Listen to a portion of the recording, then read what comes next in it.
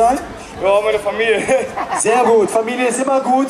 Und Jesse, was machst du jetzt so? Was hast du im Programm? Zu sexy Double Tail. 360 Double Tail Whip.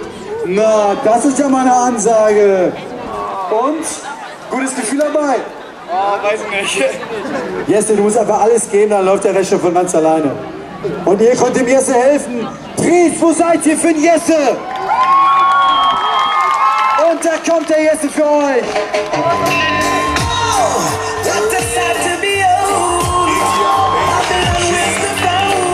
Jesse Schneider auf Dries mit einem 360 Double Tail. Man konnte die beiden Drehung schon sehen, aber er ist nicht ganz aufs Rad angekommen. Zwei, drei.